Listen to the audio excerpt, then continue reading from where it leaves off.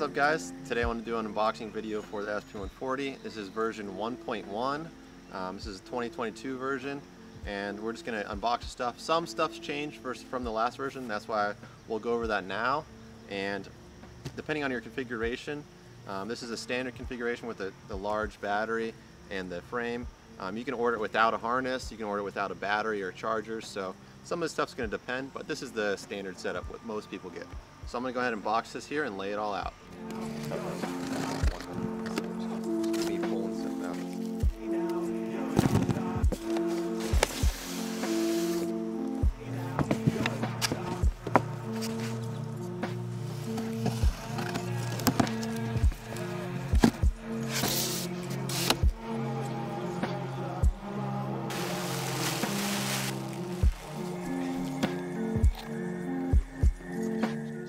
So now we got our frame unboxed and we got our power pack unit right here. We got a charger in this box and we got our main frame.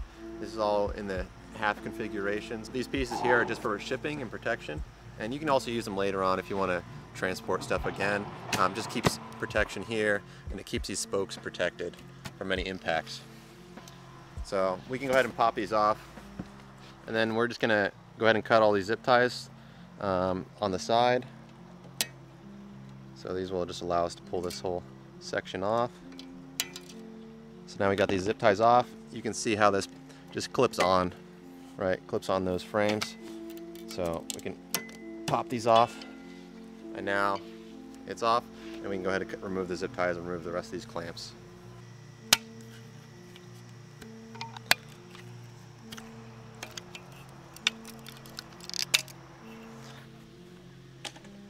Now we got our frame undone, we can go ahead and just slide it in for now. And we'll just slide these two pieces together. You'll see how those clip in. And then later we can use our Velcro straps to make sure these are nice and tight. So we'll set the frame aside for now. All right, so now that we got our frame unpacked and put together here, we can go ahead and move on to getting the whole hoop and net assembled. So obviously we have our hoop box here. We have our gooseneck bars. We can set those aside for now. We're just gonna need our carbon fiber spars and our hoop. And we can go ahead and put the frame together.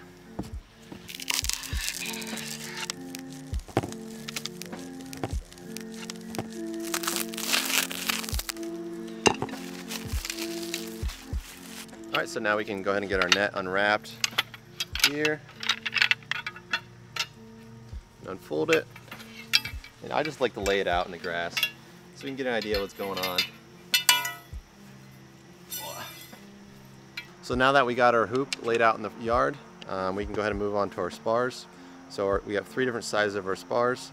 The medium size goes right up on top here. You can slide those on.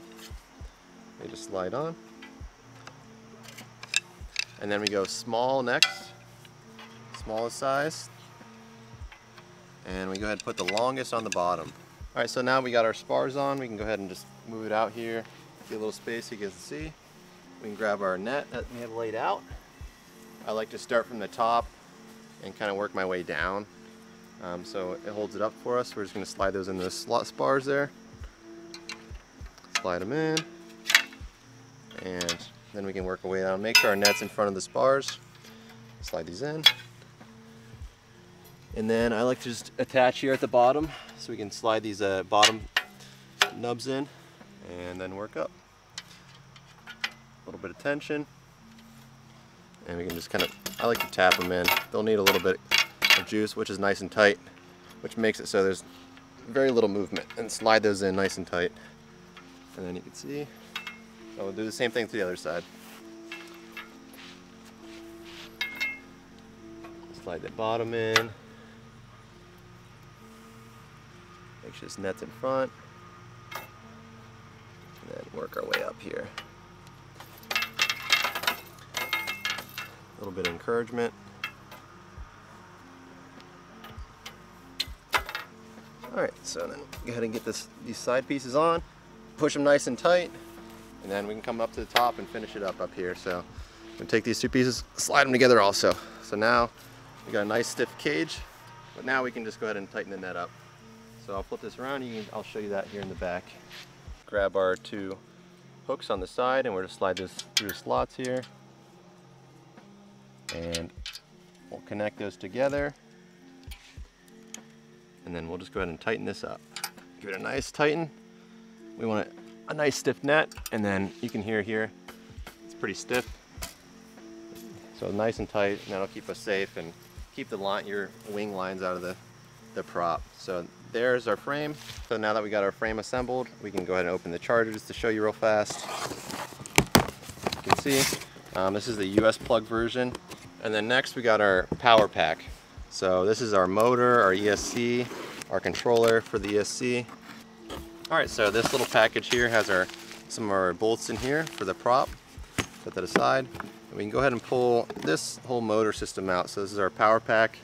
Um, you got your battery connector on this side and you got your throttle controller connectors here. And then what else we have in this box is we have this prop washer. So this keeps our prop on tight. So set that aside. And then we also have our throttle controller back here wrapped up. All right, so we got our throttle controller here. Let's set that there for now. All right, so now that we got our motor unpacked, we can go ahead and get ready to mount it to the back of our frame. Uh, this pack has all of our nuts and bolts to do that. So now that we got our envelope unpacked here, first thing we're gonna do is we're gonna grab our four motor standoffs and these four long bolts. So what we're gonna do here is we're just gonna get um, our four bolts in here in the back of the frame and just slide these up through our motor system. Got one there.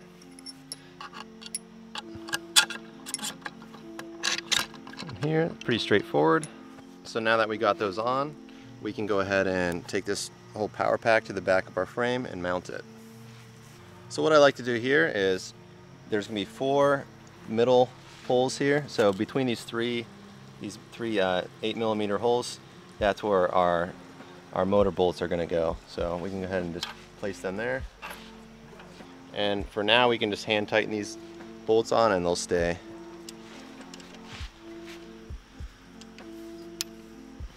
So now we're gonna need a 13 millimeter socket and our Allen key. And we can just go ahead and put this in the front. Uh, now we got our stuff hand tightened on there. We can just go ahead and tighten it up with our wrench. Give it a nice snug on all four of these.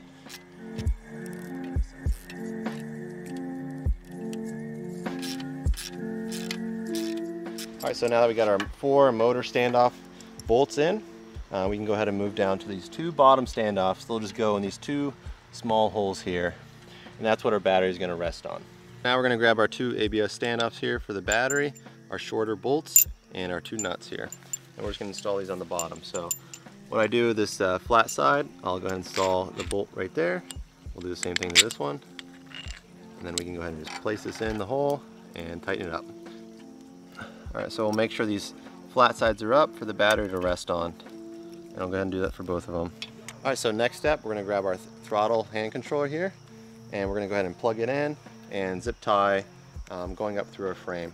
We just wanna make sure the zip ties are nice and tight, so if we fall or something like that, um, you're not gonna yank the wires out. So first thing that I do, I slide it through this hole right here in the back. So we'll put our controller in front. Uh, this is for a left-hand controller, which is the, the normal setup. And we're gonna go ahead and take um, these wires here. There's two sets of wires and you can see there's an orientation to them. So this side we can see the four pins and this side we see the three pins. And you can see here, we don't see any pins at all.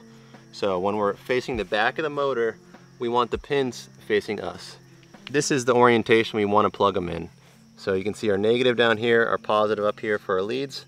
Uh, for a reference point, we're going to take the connector with the red, black, and yellow and plug it in the bottom. And make sure you don't flip it around like this. We want to see the pins when we're looking at the back here. So slide that in, make sure it's nice and tight. Do the same thing to the top one. Slide that in, make sure it's nice and tight.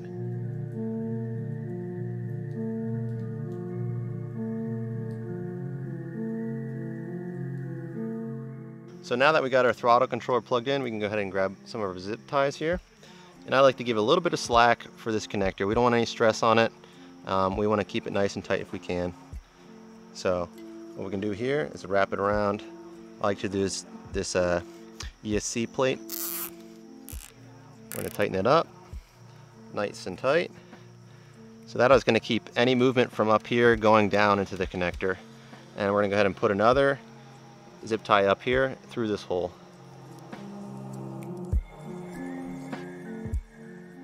So go ahead and zip tie up here. Make sure it's nice and tight. So that'll keep the wire from getting yanked out if we're running around and we fall or trip or something like that. So we can go ahead and just cut those zip ties and we're good to go to move on the next step. Then for your next step, you're gonna need your two titanium gooseneck bars, your uh, D-ring shackles, your M8 bolts, nuts, and some of your washers, and also your carabiners. And we're gonna prep our gooseneck bars by sliding in our small M8 bolts, get our plastic washers, slide those on top of our bolts, and then we can go ahead and slide these in to the side of the frames. So we're gonna take our gooseneck bar with our washer and slide it in the side. And we can put a nut on here. So now we got our two gooseneck bars in and we can go ahead and tighten up the bolts on either bar. Now that our gooseneck bar is all tightened up with our lock nuts, um, they should move freely. You just want to snug them up enough. You don't want them stiff or anything like that. They should move with very little effort.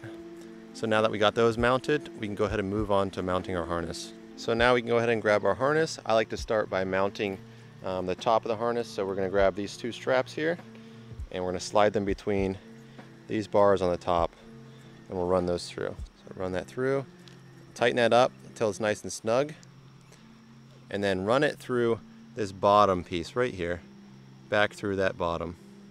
Then once that's nice and tight, like this one, we can run this strap and run it through the top of this shackle again and pull that nice and tight.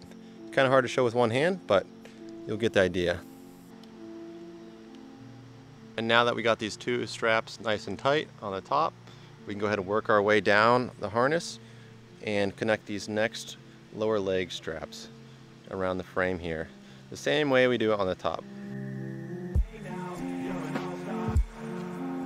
And now that we got those straps tightened up on top and on the side, both sides, we can go ahead and move onto our shackles. So what we're gonna do here is these red loops are gonna run through the shackle and through this hole here.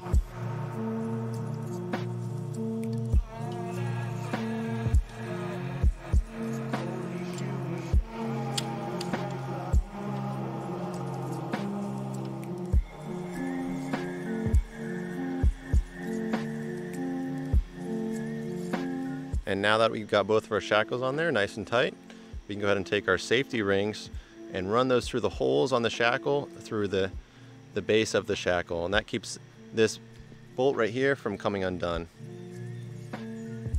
With our two safety rings in, our gooseneck bar shackles, we can open the side pouch and get our two soft links for our arms here at the top. We're gonna take our soft links and we're just gonna place them and pull them through themselves as a little knot. Again, hard to do with one hand, but pull them up through until they're nice and tight. And that's how we're gonna hook in our carabiners through this hole here. So now with our soft links installed on the arms, we can grab our safety strap and hold this up next to here and just run a carabiner through both of these. So we're just gonna run the bottom of this through both those straps. And when you're done, it should look something like this. So now we got our gooseneck bars all hooked up with our carabiners attached and our soft links, our safety ring on the shackles. We can move on to the final step for our harness here up in the front. And this is just for comfort. Um, it's not necessary, but I like it. Uh, you're gonna take your shoulder strap here. It's this long strap that comes and you're gonna run this through your bar here at the bottom and this will connect to the bottom of our frame. And that just keeps our shoulder strap from raising up too high. And then for the final step of our assembly for our frame, until we can power up, we're just gonna run these Velcro straps right through these two slots here. And that'll hold our two halves of our frame extra snug. Then with those final straps tightened, we can go ahead and move on to our first power up. So now we're just gonna slide the battery right here in the back. Gonna slide it straight down and lock it in place, and then we can go ahead and plug it in. And now with our battery slotted in the back, we can go ahead and plug in our connectors here. And one thing to note is in this, in this connector, there's a resistor on the first half. So if you only plug in the connector halfway, all that power is running through the resistor and it'll heat up. So you can wreck your connectors if you don't plug it in all the way. So make sure you plug it in halfway and then make sure you plug it, plug it in all the way. Or else on uh, your first power up, you might fry that resistor in there. So and then we'll go ahead and plug this in. Again, this is pretty hard to do with one hand, but I'll try my best. See right there, I'm only halfway plugged in. It's turned on, but that power is running through the resistor. So if we were to spin our motor up, um, something like that, all that power would be running right through that resistor and create some heat and uh, fry your resistor. So make sure it's plugged in all the way. So that's what it looks like when it's plugged all the way in.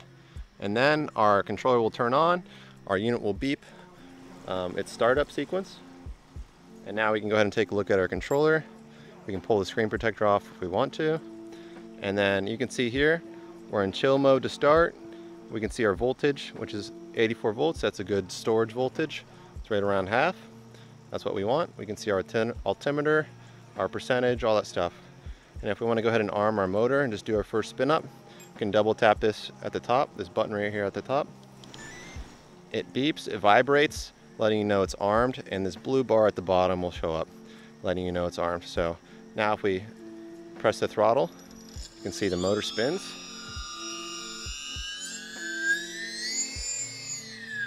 Drawing. And if we want to do cruise control just to test and walk around or something like that, we can hold it down, hold down the arming button until it vibrates, lets, it, lets us know it's doing cruise, and this yellow bar shows at the bottom. So I can walk around um, while the motor's spinning. Obviously you want to do this first and get familiar with the motor while you don't have a prop on or anything like that. And then if we want to disable arm, we can just tap the, tap the throttle here. And with the first power up out of the way, that concludes the assembly of your SP140. Um, you can now do your hang tests and mount your prop and do your first powered run.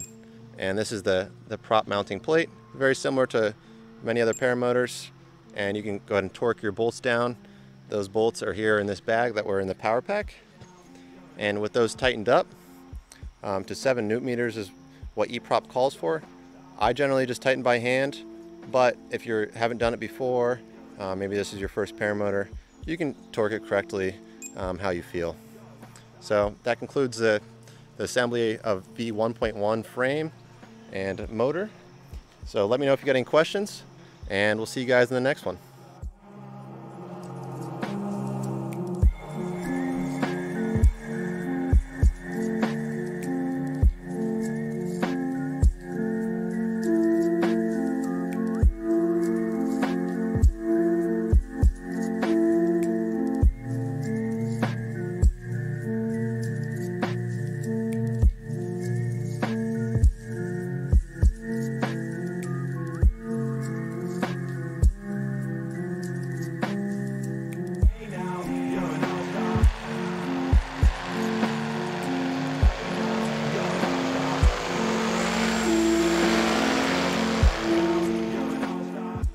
And another thing to note, if you guys have any questions about assembly still, you can watch the previous video of the SP140 assembly. I'll link that here and uh, that should answer some questions like mounting the props and your first powered run up. So, all right, we'll see you guys. Peace.